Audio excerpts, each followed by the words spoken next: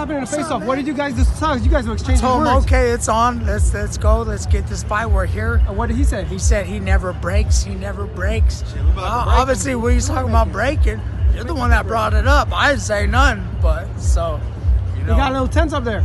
Yeah, got a little tense. He knows he he, he, want, he wants to show that he's here to fight too as well. So if Barboza's you know? watching, what do you tell him?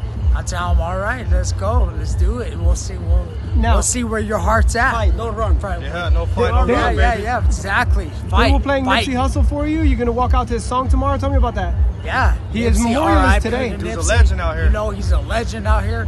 I love his music. You know, R.I.P. to Nipsey, and you know, man, love. You know, R.I.P. to Pac. You know, I was straight West Coast freaking, you know, fan. So you know, Message to um, your fans back home at the 303. oh my 303 you know I, I love everybody you know all the support that i've had and i'm back i'm back and i'm gonna do it i'm doing it you know again Big opportunity. The And winner probably gets right. Jose I Ramirez. reinvented myself reconstructed my team so you know i'm gonna show i'm gonna prove to everybody friday night what it did for me what it's gonna do to me so here we go What do you think? Excellent. No, I think tomorrow has a show. That's tomorrow. Big show, baby.